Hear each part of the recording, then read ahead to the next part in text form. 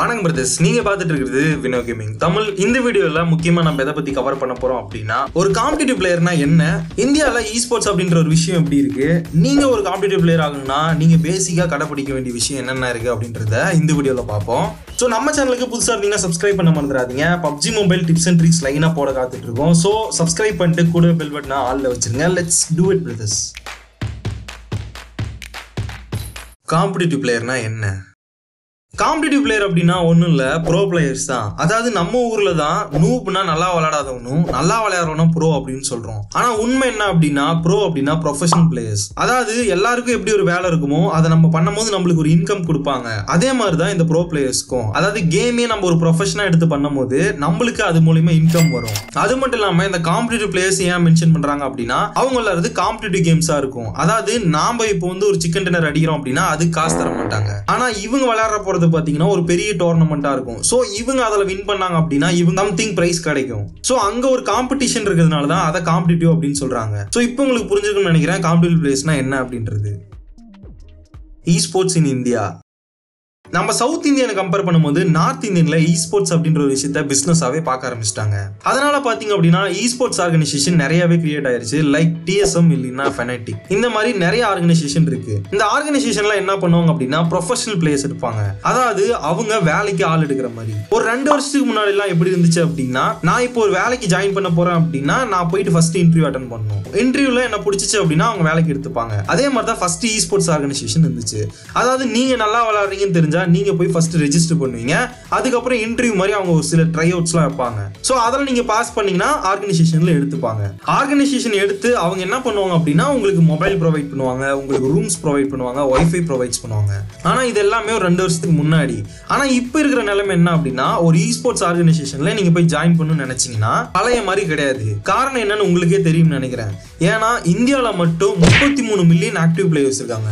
அதில் பத்து சதவீத பிளேயர்ஸ் அது காம்படிட்டிவ் ட்ரை பண்ணிட்டு இருப்பாங்க.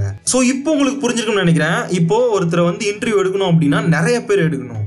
அதனால இப்போ இருக்கிற ஆர்கனைசேஷன்ல என்ன பண்றாங்க அப்படின்னா அந்த மாதிரி இன்டர்வியூ இந்த ட்ரை அவுட்ஸ்லாம் ஸ்டாப் பண்ணிட்டு ஸோ ஆல்ரெடி ஏதாவது பெரிய ஈவெண்ட்ஸ்ல நல்லா பர்ஃபார்ம் பண்ணியிருக்கிறீங்களா பார்த்து கண்டிப்பாக சூஸ் பண்றாங்க.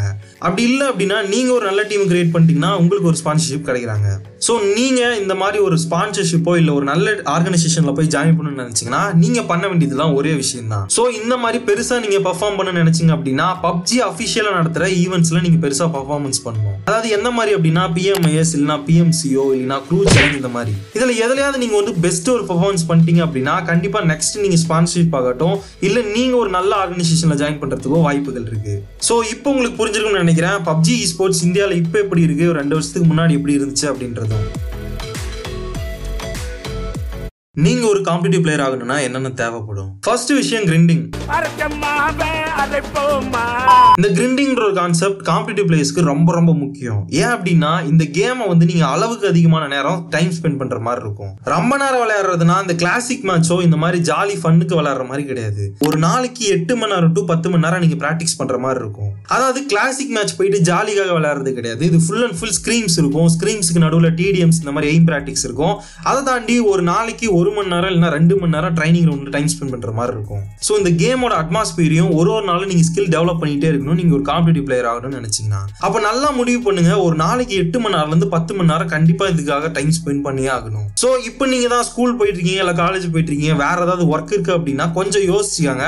அதாவது எட்டு மணி நேரம் என்னால் விளையாட முடியுமா அப்படின்றத யோசிச்சுக்கோங்க. நெக்ஸ்ட் விஷயம் என்னன்னா கியர் அப் ஒரு காம்படிட்டிவ் பிளேயருக்கு ஸ்கில்ஸ்க்கு அடுத்தபடியான இம்பார்ட்டன்டான விஷயம் ரெண்டு விஷயம் தான் அது என்ன அப்படின்னா மொபைல்ஸ் மற்றும் நல்ல நெட்ஒர்க் அதாவது பார்த்தீங்கன்னா அறுபது பேர் லாபியில் இருக்காங்கன்னா அந்த அறுபது பேருமே நல்ல மொபைல் வச்சுருப்பாங்க நல்ல நெட் வச்சுருப்பாங்க.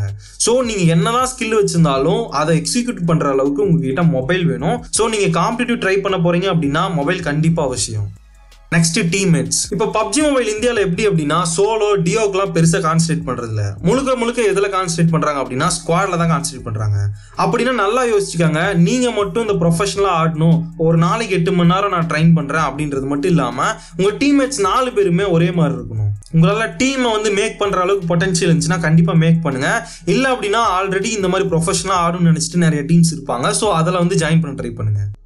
அதாவது இப்போ நாம நிறைய பேர் பார்க்கலாம். அதாவது இந்த டீமுக்கு பார்த்தியா இவ்வளோ பெரிய ஸ்பான்சர் கிடைச்சிட்டாங்க. இந்த டீமுக்கு ஐஃபோன்லாம் எடுத்து கொடுத்துட்டாங்க அப்படின்னு நினைக்கலாம். ஆனால் யாருமே அவங்க இவ்வளோ நாள் கஷ்டப்பட்டதை பார்க்க மாட்டோம். கண்டிப்பாக ஒரு செகண்ட் அவங்கள திரும்பி பார்த்தோம் அப்படின்னா அவங்க கிட்டத்தட்ட ஒரு ஒரு வருஷம்லாம் ரெண்டு வருஷம் எந்த ஸ்பான்சர்ஷிப்பும் இல்லாமல் விளையாண்டுருப்பாங்க. அப்படி விளையாண்டதுனால தான் கண்டிப்பாக இன்னைக்கு அவங்களால அச்சீவ் பண்ண முடிஞ்சு அவங்களால நிறைய சம்பாதிக்க முடிஞ்சுச்சு ஸோ நீங்க ஒரு காம்படிட்டிவ் பிளேயர் ஆகணும்னா நான் ரொம்ப ரொம்ப பேஷன்ஸ் வேணும். ஸோ நல்லா யோசிச்சுக்கோங்க. இன்னைக்கு நான் சம்பாரிச்சினா தான் என்னோட ஃபேமிலி ரன் ஆகும் அப்படின்னா கொஞ்சம் யோசிச்சுக்கோங்க. ஏன் அப்படின்னா நீங்க வந்து காம்படிட்டிவ்ல என்ட்ரி ஆகுறீங்க அப்படின்னா நீங்க மேபி ஒரு ஃபைவ் மந்த்ஸ்ல நீங்க அச்சீவ் பண்ணலாம். இல்லைன்னா ரெண்டு வருஷத்துல கூட அச்சீவ் பண்ணலாம். அது வந்து என்ன வேணா நடக்கலாம். ஸோ ரொம்ப ரொம்ப பொறுமையா இருக்கணும். ஸோ நீங்க ஒரு காம்படிட்டிவ்ல என்ட்ரி ஆகுறீங்க அப்படின்னா இந்த விஷயங்கள் எல்லாத்தையுமே நோட் பண்ணிட்டு உள்ள இறங்குங்க. ஏன் அப்படின்னா நான் நிறைய பேரை பார்த்துருக்கேன். ஒரு நாலு மாசம் வந்து நான் காம்படிட்டிவ் விளையாட போறேன் காம்படிட்டிவ் விளையாட போறேன்னு உள்ள வந்துருவாங்க. அப்புறம் நாலு மாசம் டைம் வேஸ்ட் பண்ணிட்டு அப்புறம் தான் அவங்களுக்கு புரிய வரும். ஓகே நம்ம உள்ள வந்தோம்னு சம்பாதிக்க முடியாது போல. இன்னும் கொஞ்ச நாள் ஃபேம் ஃபேம் ஆகட்டும் இல்ல சம்பாதிக்கிறதாகட்டும் எல்லாம் கொஞ்ச நாள் ஆகும் போல. நம்ம வந்து ஃபேமிலி பார்க்கணும் அப்படின்னு சொல்லிட்டு குவிட் பண்ணிட்டு போயிடுவாங்க இது என்ன பண்ணும் அப்படின்னா டீம்மேட்ஸ் தான் கண்டிப்பா அஃபெக்ட் பண்ணும். ஸோ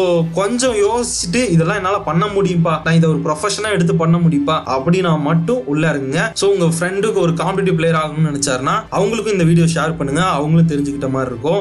அது மட்டும் இல்லாம இந்த வீடியோக்கு ஃபைவ் கே லைக்ஸ் வந்துச்சு அப்படின்னா கண்டிப்பா காம்படிட்டிவ் பத்தி அடுத்த எபிசோட் நான் கண்டிப்பா போட ட்ரை பண்றேன். ஸோ கண்டிப்பா இந்த வீடியோக்கு ஃபைவ் கே லைக்ஸ் வரவீங்க. ஸோ இந்த வீடியோ பிடிச்சிருந்துச்சுன்னா லைக் பண்ண மறந்துடாதீங்க. நெக்ஸ்ட் வீடியோல கண்டிப்பா வந்து மீட் பண்றேன். அதுவரை எங்களிடம் இருந்து விடைபெறுவது Vino gaming Tamil land bye bye boys